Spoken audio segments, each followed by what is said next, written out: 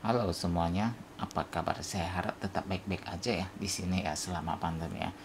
Nah, di sini aku mau review tentang kartu kredit EasyCard dari Bank BRI.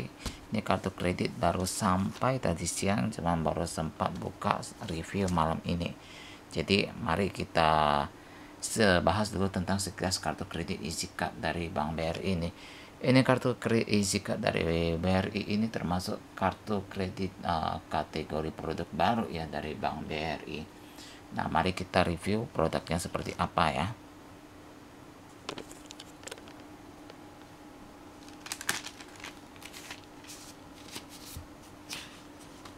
Nah, seperti inilah isi dari kartu kredit card dari Bank BRI. Nah, di sini ada ada beberapa benefit dari kartu card itu tersebut yaitu uh, nikmati kenyamanan hidup berkualitas semudah tuaga. 1% cashback transaksi tarik tunai di ATM. Jadi kalau nasabah melakukan tarik tunai di ATM, dengan menggunakan kartu kredit EasyCard itu dapat cashback 1%. Nah, cashback ini akan dikreditkan setiap bulannya sebagai pengurang tagihan kartu kredit EasyCard. 2% cashback transaksi di pasar swalayan. Jadi kalau misalkan berbelanja ke pasar swalayan, supermarket ataupun retail-retailernya itu dapat cashback 2%. 3% transaksi 3% cashback transaksi di SPBU. Nah, kalau misalkan transaksi di SPBU seperti isi bahan bakar itu dapat cashback 3% dari Bank BRI. Nah, seperti ini sih kartunya. Untuk dari segi desain tergolong cantik bagus ya, tidak seperti berbeda seperti kartu kredit lainnya yang uh, desainnya klasik BRI ini yang gold ini tidak tampak seperti kartu BRI gold sih cuman yang membedakan ini tulisannya nih nampak gold padahal sebenarnya kalau dia tidak tertulis gold seperti kartu platinum ya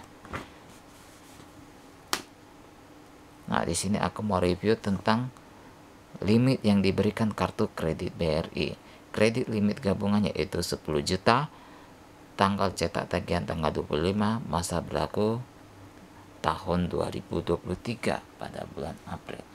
Nah, di sini aku mau jelasin sedikit tentang kredit limit gabungan. Sebenarnya apa sih kredit limit gabungan itu? Kenapa limitnya gabungan? Nah, jadi untuk beberapa untuk hampir semua bank itu ya kalau dia apply kartu kredit yang lebih dari satu itu semua limitnya itu gabungan. Jadi kalaupun kamu punya kartu kredit BRI lebih dari satu entah itu dua tiga nah itu tetap limitnya itu satu. Jadi bukan satu kartu satu limit.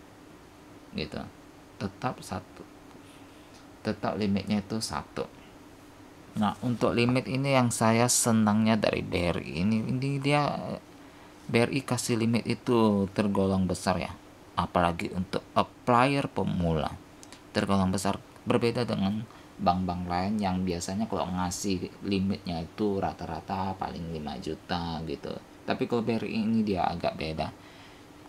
BRI ini dia beda. BRI lumayan mau berani dia kasih gede. Jadi kalau misalkan nah ini di baliknya ini ah, ini hanya syarat-syarat ketentuannya nggak gitu penting sih sebenarnya. Jadi kalau misalkan teman-teman uh, pada mau apply kartu kredit Bank BRI coba langsung silakan apply ke situs resmi Bank BRI nah di situ ada klik link kartu kredit dan klik apply. Baiklah hanya di situ hanya sampai di sini reviewnya ya. Saya harap konten ini bermanfaat bagi para